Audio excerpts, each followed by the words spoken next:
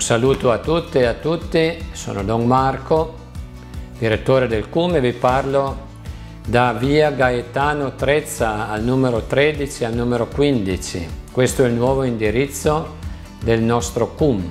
Ho il piacere di invitarvi per una giornata di inaugurazione di questo luogo. Sarà sabato 21 settembre.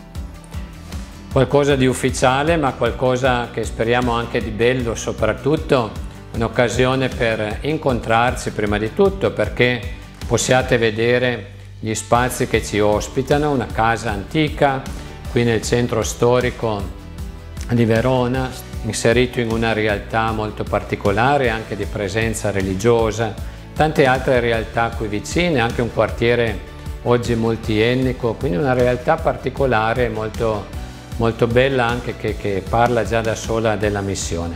Conoscere i nostri spazi, i nuovi spazi e quella che vogliamo che sia la casa vostra, ecco, di voi che, che frequentate la missione, che siete dentro ecco, in prima persona nell'esperienza missionaria.